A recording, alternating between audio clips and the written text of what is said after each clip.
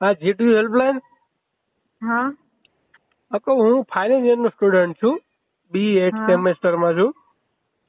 તો જે અમારે જે મોક ટેસ્ટ લેવાની છે એ મેડમ ત્રીસ ત્રીસ મિનિટની છે અને જે ફાઇનલ એક્ઝામ છે એ સિત્તેર મિનિટની છે. તો મેડમ એમાં કઈ પ્રોબ્લેમ આવશે તો?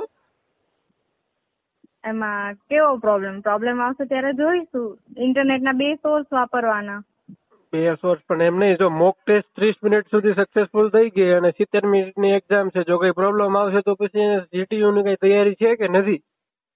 જીટીયુ ની બધી જ તૈયારી છે. તમે તમારા એક્ઝામની અત્યારે તૈયારી કરો. પણ મેડમ જાણવું તો જોઈએ ને કેમ કે ત્રીસ મિનિટનું છે. હજી એ લોકો તમે એનું તમે એનું ટેન્શન ના લો. જીટીયુ તૈયારી કરી નાખશે એમ? હા જીટીએ કરેલી જ છે અને કરી પણ લેશે.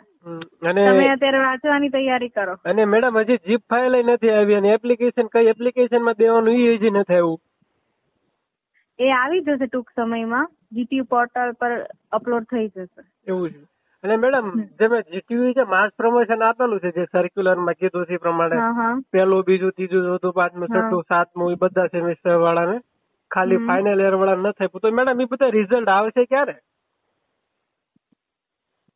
ટૂંક સમયમાં અમે અપલોડ કરી દઈશું જીટીયુ પોર્ટલ પર. તમે ચેક કરતા રહેજો. મેડમ એમાં એક ક્વેશ્ચન ઈ થાય. માની લો કે આઠમા સેમેસ્ટરમાં કોઈ સ્ટુડન્ટ છે અને છઠ્ઠા સેમેસ્ટરમાં કે પાંચમા સેમેસ્ટરમાં કોઈ બી સેમેસ્ટરની અંદર બેકલોગ હોય. હા તો પેલા તમે આઠમા સેમની તો એક્ઝામ આપો. આઠમાની અંદર માની લો આવી જશે. તો એનું રિઝલ્ટ આવશે ત્યાં સુધીમાં. એટલે એની પહેલા આવી જશે ને? હા તમે ટેન્શન ના લો. તમારે પેલું આઠમા સેમનું રિઝલ્ટ આવશે ને એ પેલા આવી જશે. હમ તો વાંધો નહીં. બાકી તો જો નો આવે ને તો કંઈક એને બેકલોક લખેલી આવશે. કેમ કે ફાઇનલ રિઝલ્ટની અંદર એવું લખેલું ના આવવું જોઈએ. એટલા માટે હું મારા ક્લિયર માટે પૂછું છું. હા તો તમને ખબર પડવી જોઈએ ને કે તમારે આગલા સેમમાં મહેનત કરવી જોઈએ. એ બધું તો ઠીક છે હવે.